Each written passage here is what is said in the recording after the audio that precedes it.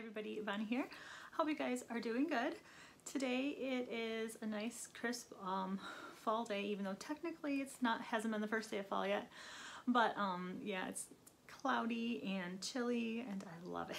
So um, I have some baby doll blankets to show you and one doll dress that I made, which is okay. and then I do have some of my Fall in Love collab project worked on that I want to show you guys. I'm not going to show you the whole thing because I'm going to wait until that is over, which is on October 1st. So if you guys want to get in on that, the information is all linked down below. So let me show you. First I'll show you the doll dress and then I'll show you the blankets. Because the blankets are a lot cuter than the dress.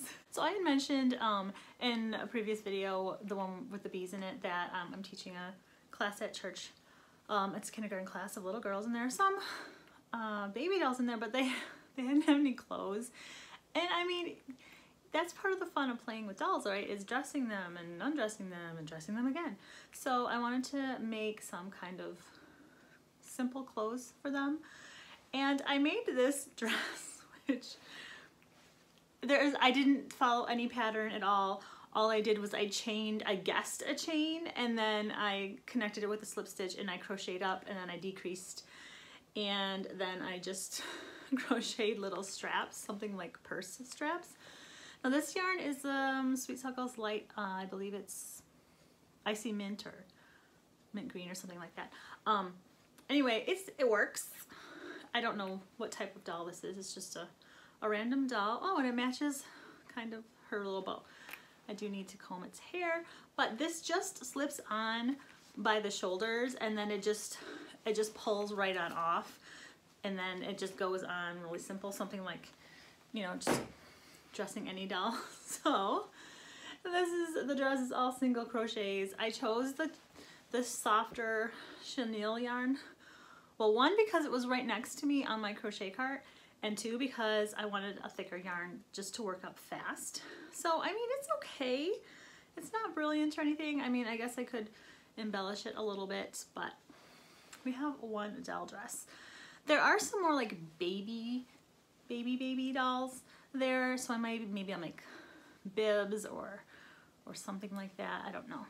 We'll see. We'll see how much it gets played with. Anyway, then there was just like one blanket there and it's huge because it, it, was someone had donated their actual baby's blanket it looks like because it's really really big and kind of awkward to play with so I wanted to get some tiny little blankets in there and I made this one which is I know it's yellow and it's just kind of hard to see but this is the moss stitch and around the edge I single crocheted and then I half doubled. I don't know if it'll show up very nicely. There you go. And there's sparkle in that yarn. I love it. So I made this. I'm like, I love this little blanket. It's just mainstays yellow. And I have to make a pony out of that too. But um, so I have this little blanket here. I think I used a G-hook for it. And I have a granny square one. Now I made this kind of around granny square day but it was just never finished, so I didn't show you guys. Um, I just took some scrap yarns, and again, I have that sparkle yarn around the edge with, I think, just single crochets on this one, because, or was it double, half doubles? Um, half doubles. It's half doubles. Half doubles. So this is just a little small granny square blanket probably used a G-hook. I don't I don't really remember. Maybe it was a 3.75. Um, yeah, so we have two little blankets. And I was doing some cleaning and I found these other granny squares that I had made, I want to say last year. And I was going, I, I started it because I just needed something to crochet. And then I thought I'd make a granny square cardigan or something out of it, but then that just never happened. So I found these two granny squares that I had worked up. It's with the mandala or mandala or however you say it, mandala? I think I say it mandala. I don't know. Um, I think this, I don't remember the colorway, but they still have this in the stores. You guys could probably tell me. Um, I want to say wizard, no? I don't know. It's mandala yarn. I used a G hook for it because there was a stitch marker on it that told me. And this is one cake. Just in a granny square, just one cake of it. And I was like, when I found it, when I was cleaning, I'm like, you know, that would make a pretty cute baby blanket. It's just a little bit bigger, but it's drapey. So I, again, used that sparkly yarn and I just did single crochets around this because I didn't need it to be any bigger. Then there's another one which might be my favorite. Like when I made the yellow one, I thought that was my favorite. And then I thought this was my favorite. But I think this one is my favorite. This is Mandala Gnome. Isn't this pretty? Uh, again, I took that, sparkle yarn. I think it's like a Hobby Lobby sparkle yarn. My sister gave it to me a long time ago and I just had a scrap ball of it left. Um, the hook size on this is a little bit bigger maybe a 5 or 5.5. Um, I'm not quite sure. I think I just, I did a 5.5 for the single crochets all the way around. So, we have some cute baby doll blankets. Like, this is so cute. Even if you just wanted to crochet up a cake of the mandala, it's a nice size just for a lapghan also. Because when I was crocheting the edge around I'm like, oh, this is a nice size for a lapghan. So I have those baby blankets one doll dress. And you know what, you guys? I didn't enjoy making the doll dress as much as I thought I was going to. I thought I'd really like, really enjoy making doll clothes. But I was surprised because my hashtag fall in love, my fall in love project, I like actually really like it much better than I thought I would, much better than making doll clothes. Um, now, I wasn't quite sure what the hook sizes actually were like in millimeters because I showed you guys my grandma's hooks and they're the metal Boye ones and they they have numbers but they don't have like the millimeter like the size. So I found a blog, uh, Penguin Crafts, and I printed out a chart that has the sizes and the numbers for the steel hooks because I just, I don't know. um, and then I made tiny little weird, I don't know if you can call it a swatch, of the, the yarn that I'm using, which is connected to my project. So I'm being careful here. Okay, which is this. Got this at Goodwill. It's an off-white color, this size. I, I have no idea. but anyway, so I just took some of it and I took the hooks and I made little tiny swatches I tried that one tiny, tiny hook, which is a size 13. Um, it was way too small of a hook to even catch that thread, so I didn't use that one. I'll go from biggest to smallest. I'll show you guys the swatch thingies. Now this hook is not my grandma's hook, and I, I taped the swatches on because I wasn't gonna be able to tell the difference. Um, this hook came from that, like on, when I did like this unboxing type video um, from Goodwill, I got box of yarn and crafty stuff and there were a bunch of hooks in there. So this hook was in there, which is a zero. And let me look at the chart, which is a 3.25. So it's not that, you know, small. Please ignore the tape. All I did was I just chained probably like 10 or 11 or something. I did some single crochets, I did some half doubles, some doubles, and a few triples. And that's how big it came out. And it's drapey and you can see the stitches very nicely. It was was okay. I mean, it wasn't that bad. Then I took a, the next size that I had that was a little bit bigger is a seven, which is actually the size that I picked to make my project with. Now the seven is, the seven is like a 1.5 and then the chart also says it could be a 1.65 millimeter hook. Uh, it's, it's tiny. I don't know how well you'll see that.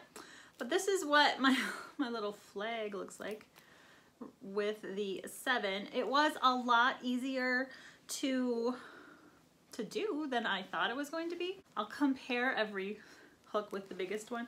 So this is the biggest one at, 3.25 and then this is the size 7. Well there was also a size 8. I'll untape it. There was a size 8 hook in there. This is what the size 8 one looks like. This is a 7, this is 8. It's like barely a difference. So the, the 3.5, I mean, yeah, it's smaller. The higher number of steel hook, the smaller the millimeter size, I guess. And then there was a nine. Now my grandma had two nine hooks in there, so that leads me to believe that nine was one that she used often because we tend to have hooks of multiple, we tend to have multiple hooks of the sizes that we use a lot. So this is a size nine hook. The hooks all look the same. Um, but it is a little bit tinier. It was not that bad to crochet. You know, the smaller I was getting, it really wasn't like horrible. So there's the biggest and then there's the smallest and I have one more which is a size 11 hook. What is a size 11 hook? It's so teeny tiny. Um, yeah, it says it looks like a nose. Uh, here's the or it could be a fingernail because it's kind of sticking to my finger because of the tape. So here's the bigger one, the 3.75. And then this is the size 11, which is, the chart says the 11 is a 1.1 millimeter hook. So quite the difference there. Um, it was okay, but really, really tight. Um, I could do it if I wanted to, but my project, I don't want it to be too stiff. So I chose to do the size 7 hook. Um, some of you guys have recommended that and thank you for any tips and advice when working with thread or steel hooks. Um, I'll take it. One more thing about the steel hooks. I was afraid that I would have trouble with this project because the hooks are steel hooks. I used to crochet all the time with the metal hooks and it made my wrists hurt because of the coldness of the metal and then when I switched to the clovers, which is what I love, my wrist pain totally went away with those plastic hooks. So anyway, the project I'm making is a YouTube tutorial, but I'm not gonna share that yet. I'm gonna wait until the Fall in Love collab finale or whatever you wanna call it. Um, I will show you my progress so far because it really doesn't give away that much, but I'm not sure if I'm gonna show you guys again until the very end. We'll see. Uh, this is so fun. So I'm making Yes, I'm making a doily. I've never done that before. Um, the design, it hasn't came yet though, so this just looks like any run-of-the-mill doily. Am I showing you the back? I'm showing you the back. I swear I don't know what I'm doing. Okay, let's try that again. Here we go. this is the front. Um, it is working up so fast. I can't believe how fun it is. I'm taking my my opportunities during the daytime when there's really good lighting to do this, but it really, it's, it's pretty fun. Now I did watch the tutorial first to make sure I could do it and I can totally do it because I was very intimidated making doilies and using those tiny hooks and the thread. I've never crocheted with thread before. So I am glad that it's working out. My first choice project is working super good. Um, the second project, I'm trying to decide on the pattern that I want to do do for that. Um, that's gonna be that's gonna be interesting. And if I have any progress done on that, if I decide on my pattern, which I need to do, but it's not gonna take that long. But anyway, I'm babbling. I will show you if I make any progress or if I start that one. Um, and then I had mentioned that there was this third like project that was gonna be my like my fail safe if I couldn't do a doily, if I couldn't do the second project. Um, and I'm just gonna tell you guys what it is because I was gonna wait to tell you what it is until the end, but I, know, I can't wait. I have never, ever, ever, never made a corner to corner blanket. I have seen them, people make them, they're beautiful. I love the scrappy ones and I've never done that. So if I get these two projects finished, I'm gonna start on a corner to corner scrappy blanket and I know it's not gonna be finished um, by October 1st. My fail-safe was gonna be though, if, if I ended up with a corner to corner blanket, I was just gonna make a doll blanket, a doll size blanket. Um, but I'm gonna make like a big blanket because I have, I'm getting some more scrappy balls now. That didn't sound right. I'm getting a lot of scrap balls. Um, I'm accumulating a lot of extra yarn and I would really like to make a huge um, corner to corner blanket just to throw upstairs on the bed and yeah use up some of my yarn to make room for more yarn Uh, I am surprised, like, this doesn't seem to be getting any smaller. Uh, I definitely know I have enough to finish my project. Um, yeah, the, I'll be making doilies forever. Anyways, anyways, so that's what I have to show you guys today. I hope you are doing well and that you are having some fun. Join in the fall collab if you want to, if you want to just try something you've never tried before. See if you fall in love with it. I am falling in love with the, the thread, crochet thread. I'm totally surprised because I thought, okay, I'm going to do it. I'll try it and I'm probably not going to like it, but I really, I really do enjoy it. So you'll probably be seeing more thread projects from me in the future. That's all I've got for you guys today. Thank you for watching. Thanks for commenting and the likes and all of that stuff. Um, I'm sorry about like the ads. They, like I don't make any money from the YouTube videos yet. Like I need, I need like a ton of watch hours still. So I'm sorry if those annoy you, but I have no control over it. I mean, they annoy me, me sometimes. But anyways, thanks for just sticking with it and just click skip ad. I don't really care. so anyways, I hope you guys enjoy your night or day or whenever you're watching this. And I will be seeing you soon. Bye everybody. Now, now comes the awkward time of video where I just don't know how to end it. You guys, it's hilarious, all the edits that I make just when I'm trying to say, see you later, goodbye, or whatever. I never know how to end the videos. I gotta get on top of things. I still haven't made my list. I feel like I'm letting Elaine down. Sorry now comes a part of the video, but every time, like every time, I'm gonna let you guys on a little secret. I don't know how to end it. Like I, I do all these endings and they're so cheesy and just I'm like, well, I need to re-record that. Um, so anyways, I don't know. I am just done with the video now, I guess I could say. that's all I have to show you guys for today. Um, I really do enjoy talking to you. Have a good one. Bye. I'm watching the traffic go up the road. I think they can see me making a video. I hope you guys are enjoying fall and this, if you have fall or maybe you're on the other side, which would be summer, spring? I don't know, weather. Why do we talk about the weather? Now I'm just babbling.